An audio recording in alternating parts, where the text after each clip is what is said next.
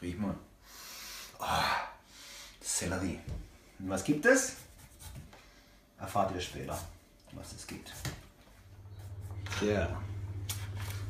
Pommes oder Pommes? Gibt Pommes. Pommes.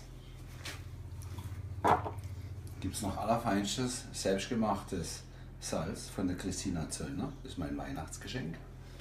Mhm. Das noch drüber. Und dann geht's ab im Backofen. Tja. Und da sind sie, die Pommes. Und jetzt gibt es gleich noch ein lecker Steak dazu. Und lecker Pommes. Steak und Pommes.